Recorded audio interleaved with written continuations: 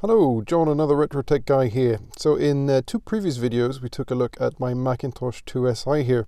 And today we're returning to it to finally address the graphics issue that we saw then, among other things. So let's get on with it.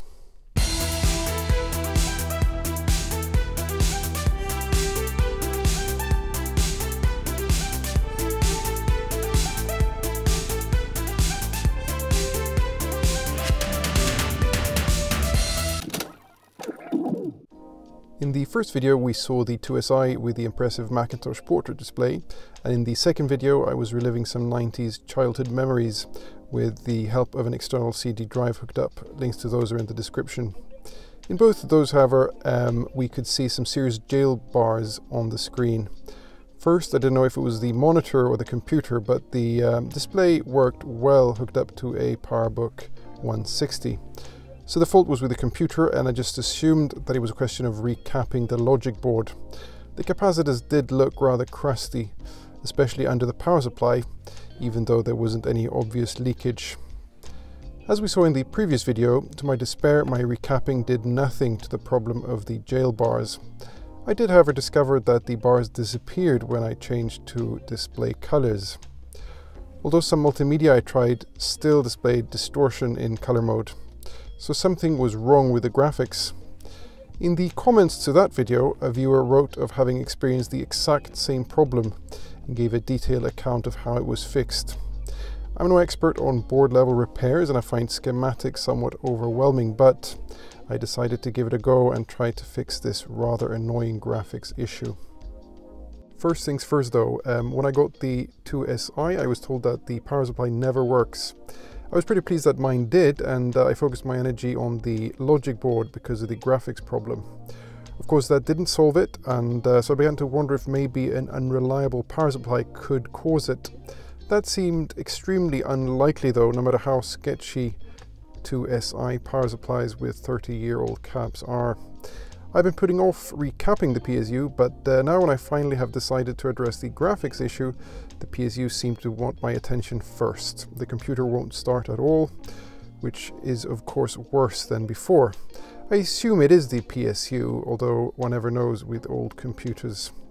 I've ordered some replacement caps, so um, let's finally get this recapped and hope it does the trick.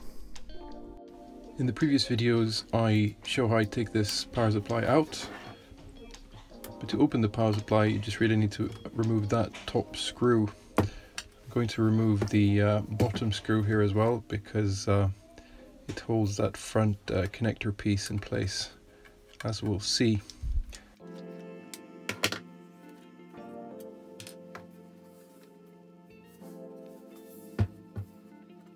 Uh, when that top one is removed, you can just open it um, by lifting the top usually get my nails terribly stuck in there and that might hurt so I'm using this uh, plastic tool to just pry this right off and uh, yeah there you go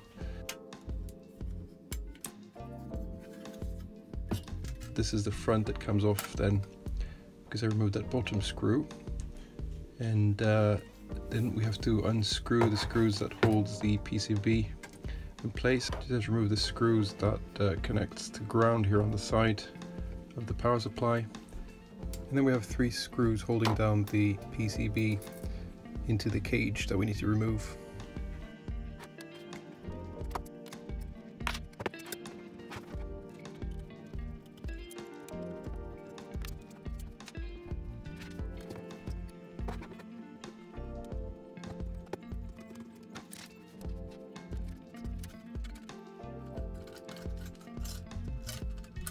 The connector that connects to the logic board there has these plastic wings that need to be squeezed together to and pushed through the the metal um, in order to get the uh, the PCB out of course.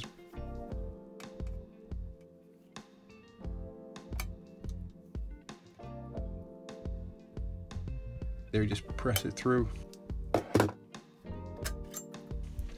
and then with some uh, wriggling, more wiggling we should get this thing out.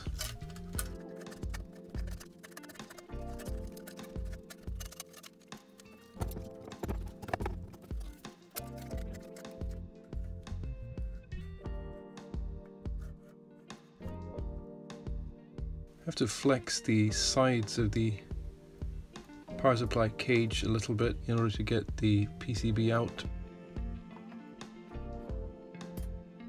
And here we have it then the uh, connector there on front, on the front, and uh, you look at the underneath, has quite a lot of flux residue left on it. It's kind of shiny, sticky surface there underneath, but uh, some black there as well, but doesn't look too bad.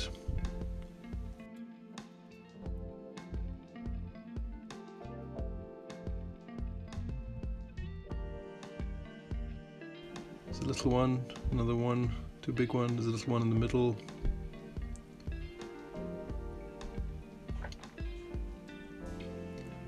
There's one, another one hiding there under the cables as well. There's a lot of glue between some of them there. There's a little board with more of them and uh, behind here as well with glue. So this needs to go out for us to change the capacitors there.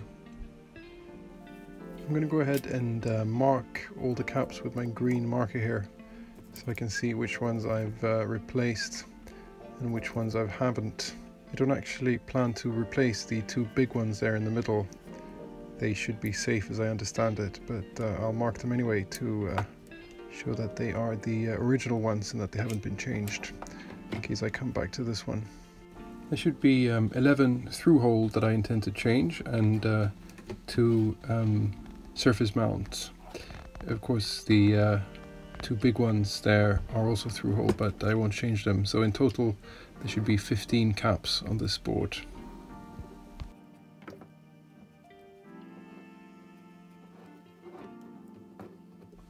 I'm removing these caps with my soldering iron and our solder sucker. I uh, did have a desoldering gun once but uh, got kind of clogged up and uh, it just wasn't worth the hassle and the space that it was taking. I guess for some kind of jobs you really do need one but um, I find that this does the trick. They also use um, solder wick, as we'll see, to suck up the final bits. But uh, yeah, the solder sucker does a surprisingly good job, I think.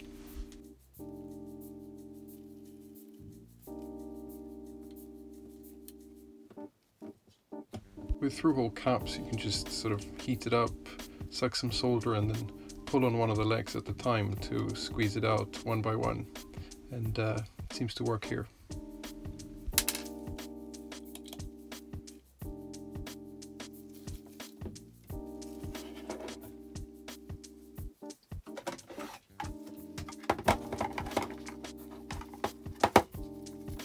Then I just use some solder braid to get the last of the solder off there at the back to make space for new caps.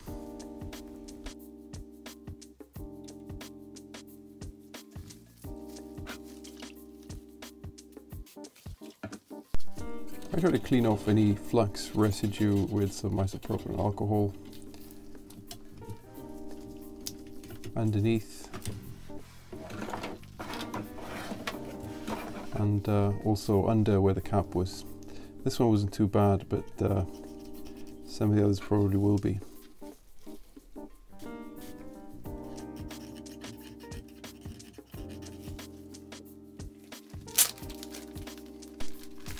There's a great feeling dropping a fresh cap in an old uh, PCB. Um, I just have to uh, get the polarity right. Of course, the long leg is the plus and uh, negative is marked on the side of the cap usually. And also on the board here we can actually see the plus and the minus. So just pop it in and then uh, solder on the back.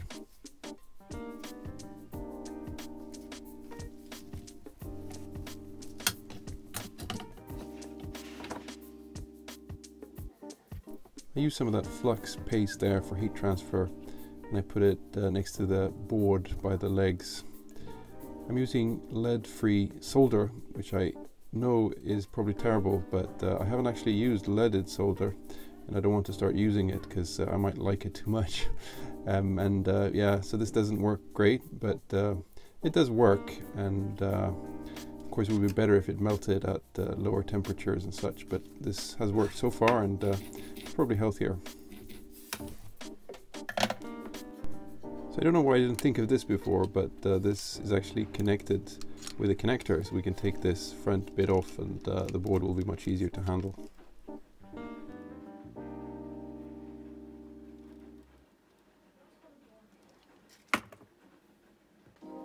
So this was too much of a struggle to actually catch on camera, but uh, I managed to remove this little daughter board with the surface mount uh, caps on.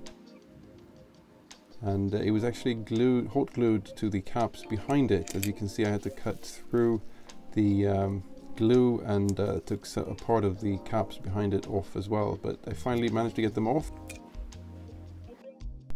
I did lose one of the little legs though, and I'm um, hoping to be able to solder it back on, that might not be easy.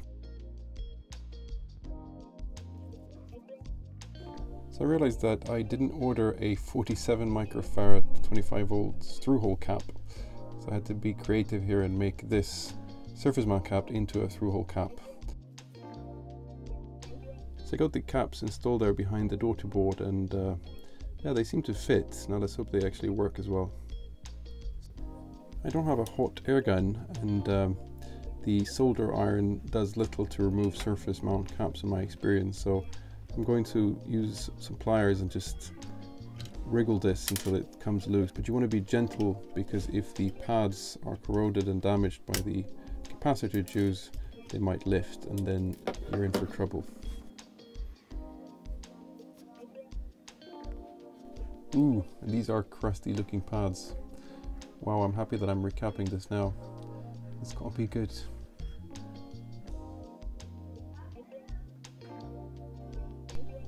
I'm removing the legs from the surface mount caps with my solder iron and some uh, tweezers. But uh, then I uh, put some more flux and uh, the solder braid to remove any left on solder. And then of course it's the isopropyl alcohol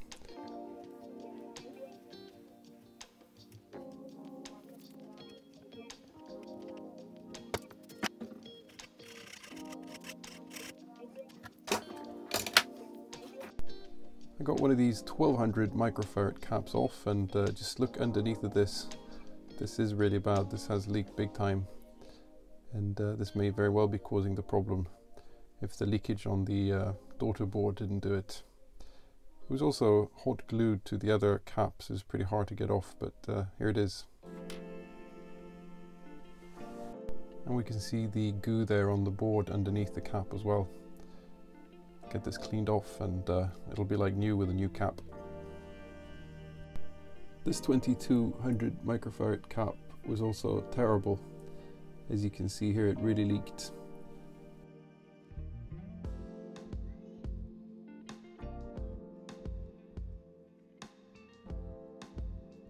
And uh, in fact the whole cluster there on the corner of the board uh, looked pretty terrible.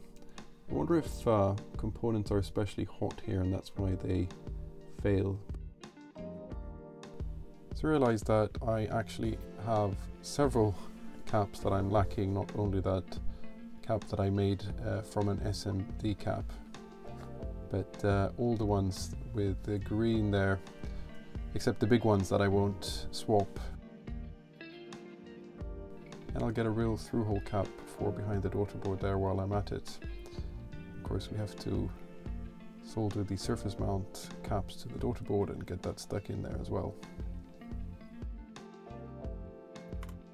But I have to get this leg onto the daughter board before we continue. I made several attempts at this and it kept coming off so this was not easy and uh, it has like a little leg that's supposed to go on the back as well but that kind of came off. So I was just hoping to solder it straight to the daughter board um, without holding it on the back as the other pins are.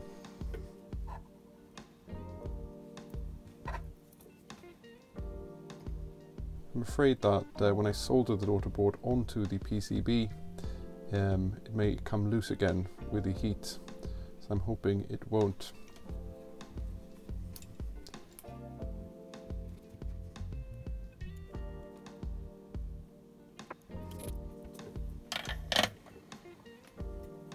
Ah, there finally now it seems to be well stuck on. It looks pretty good as well.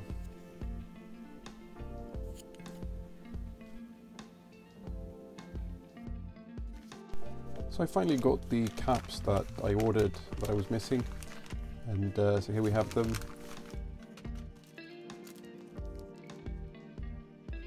We have the caps here for the front corner. We have the little cap that goes between the big caps there in the middle. We have the SMD cap for the daughter board that I also was missing.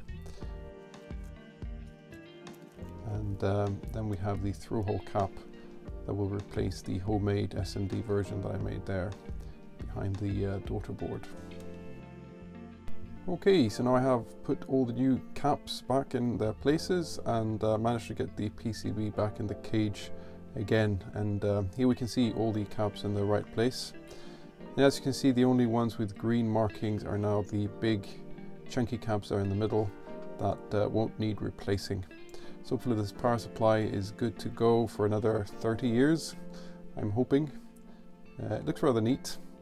So now let's just close this up and uh, see if it uh, made the computer turn on. I really hope so.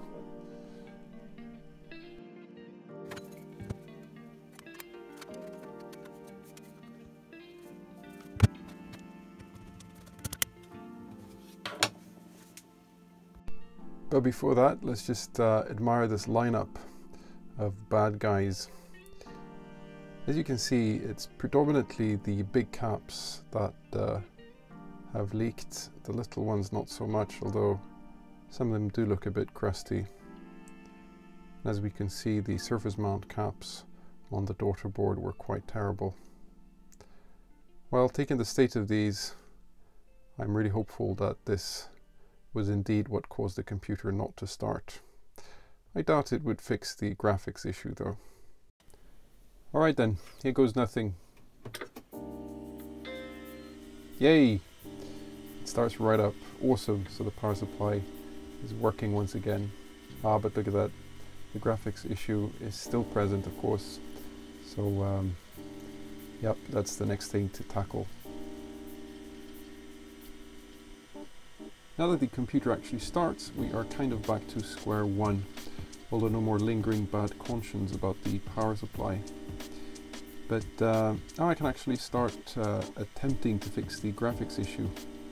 These are the instructions here. The viewer wrote, had this exact same issue on my IIsi. The problem was a broken trace under a leaking capacitor from the multiplexer chips to the video controller. With a monochrome image, you can count which bit is affected and look up the pins on the affected chips. Search for Bomarc Macintosh IIsi schematics. Since this is a big endian machine, you count from 31 down to 0. In the video, it looks as if bit 0 is the culprit, as I can't see a bright line to the far right of the screen. Use a multimeter and check continuity between pin 2 of UE5, the multiplexer, and pin 1 of UF7, RAM chip, and between pin 2 of UE5 and pin 90 of UA3 video controller. Then use a bodge wire or carefully follow the trace to repair the breakage. You can't see the problem in 256 grayscale mode because bit 0 is the least significant one and you can't really see the difference between those shades of grey. Here are the mentioned Bomarc schematics, link in the description. So here we have the multiplexer UE5 and we can see that the pin 2 goes to pin 1 of the RAM chip UF7.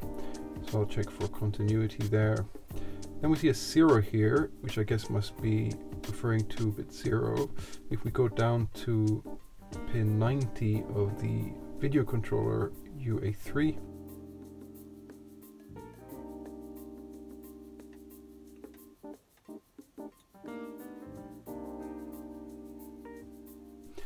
a zero there as well.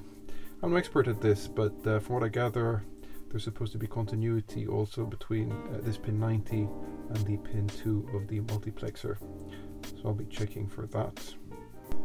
I put a silver sticker there on the three chips that we'll be looking at. And I wrote down here what uh, I need to check between them. UE5, the multiplexer is there. UE7, the RAM chip is there. And UE3, the video controller, is up there. I made a mark also on the sticker so I easily can find pin 90 on the video controller and pin 2 of the multiplexer. So I'm starting to test the continuity between the multiplexer pin 2 and uh, the RAM chip there, pin 1. Yes, there is continuity. That's good news. So if this is the issue, then, then uh, the break must be on the other line. I'm testing between the multiplexer now, pin 2, and uh, the video controller pin 90, but uh, there is no beep, so no continuity there. So that does confirm that there is a fault somewhere between those two. There's a break somewhere. So uh, yeah, the diagnosis was right. Now let's see if we can find where the issue lies and fix it.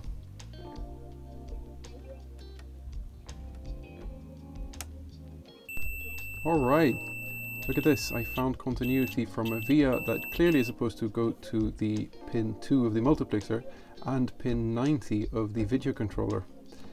If I can solder a bodge wire from that via to pin 2 of the multiplexer, then uh, we should have uh, continuity all the way from the multiplexer to the video controller. I'm trying to see where the trace is damaged, but I can't, and unfortunately I don't have a microscope.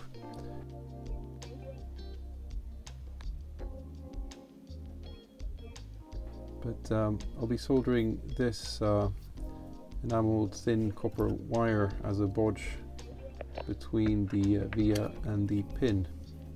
The pin here and uh, the via there. Okay, the bodge wire is in place, so moment of truth. Will there be continuity all the way between the multiplexer and the video controller?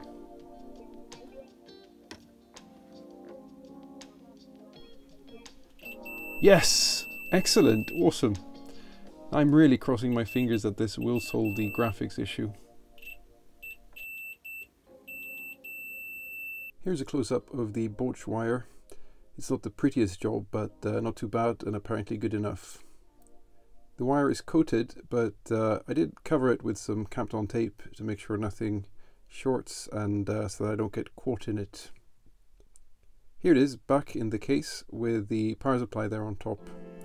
The break must have been right by pin 2 of uh, UE5, the multiplexer, but uh, I can't really see how that happened. So, second moment of truth then. Have we fixed the issue with the annoying jail bars in black and white and grayscale? Ah! It actually works! Wow, that is almost incredible. Thank you so much, viewer. E Pushke. No bars. And we are in black and white mode now. Wow. I'm going to let this start up and uh, check grayscale and color also.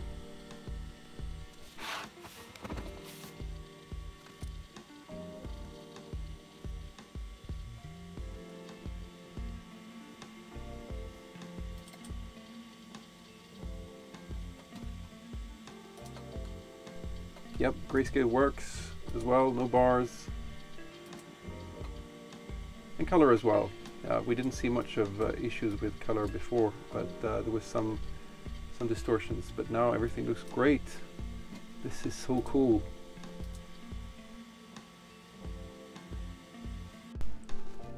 Now that I have a Macintosh IIsi that works so well, I want to do something about the yellowing on the case. I've had some success on uh, small scale with old ADB mice, link to that in the description. But I've also possibly overdone it in the past, so I'm a bit afraid of retrobrighting. This keyboard was extremely yellowed as you can see here. Of course the caps are different plastic, but uh, this is how it looked under the Apple logo. I applied hydrogen peroxide cream and left it in the sun on the windowsill inside with cling film on for 4 to 5 hours. You can see the result here, um, that was clearly a bit too much. There are some slight signs of streaking here also and of miscoloration. Although maybe if I try uh, the keys too uh, and uh, the bottom then it will look okay. I've also successfully retrobrighted uh, keys for a Commodore 128, but uh, that was in a bag of water and liquid hydrogen peroxide. Also link in the description. I have three issues. One, I have no liquid hydrogen peroxide, only the cream variant. Two, the computer case is too big to put on the windowsill. And three, on my balcony there is only some direct sunlight in the evening. I read that someone had successfully retrobrighted with cream on the balcony uh, without direct sunlight, so I uh, decided to try to learn from my mistakes and take it very slowly. I applied a thin layer of hydrogen peroxide cream with a paintbrush and made sure that uh, it was an even layer. Then I put uh, cling film on top and made sure that uh, there weren't any creases or air bubbles. Then I kept it in the light on the balcony but out of direct sunlight for uh, 5 to 6 hours. The temperature wasn't warm even, uh, just around 20 degrees Celsius, about uh, 68 Fahrenheit.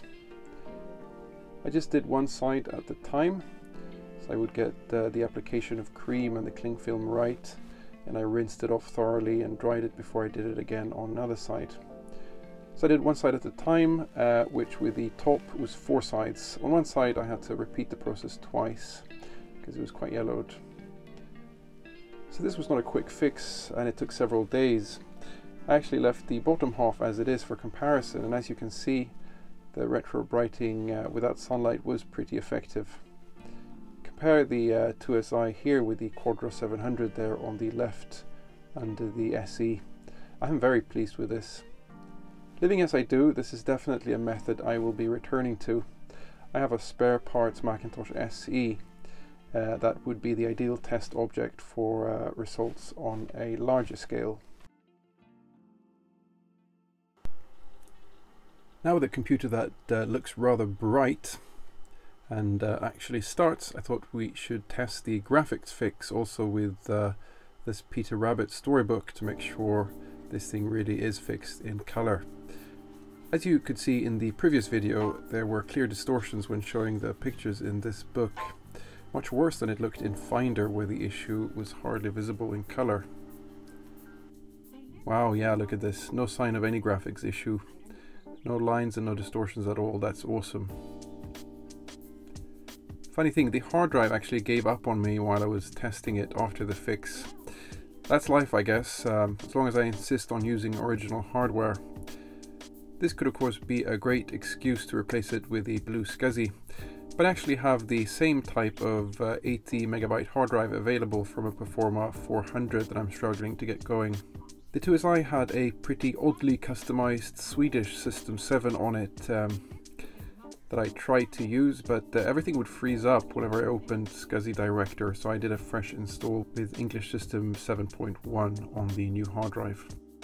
I'm so thankful to the viewer that provided the solution to my graphics problem.